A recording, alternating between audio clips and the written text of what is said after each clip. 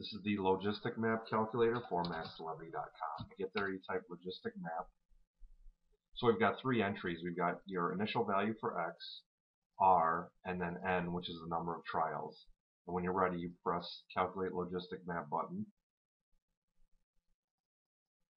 So as you can see, we go through each step, and here's the, it's basically a recursive formula. So we start off with your x sub 0. Then what we do is we carry each prior value down to the formula. So in here, we're going to use x sub 0, calculate, simplify, and here's x sub 1. So now we take x sub 1 and we put it in here and do the same formula again. Take it x sub 2, etc., etc., etc. So let's say we wanted to change our initial value. Let's say we want 0.3. We'll say 6 for R, and we'll do 30 trials. Let's calculate logistic map. So as you can see, the value gets quite high, quite low, and then high, and then low pretty fast. So we hit infinity.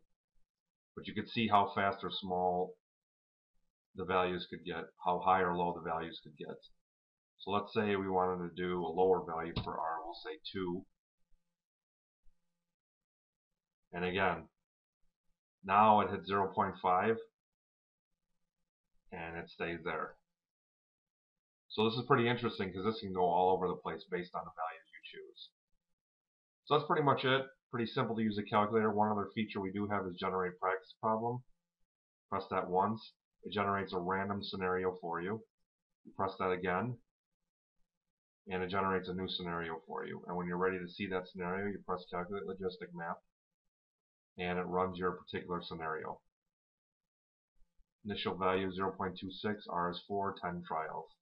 And here is the grid. If you got any other questions or enhancement suggestions, please use the contact us link. Thanks for watching.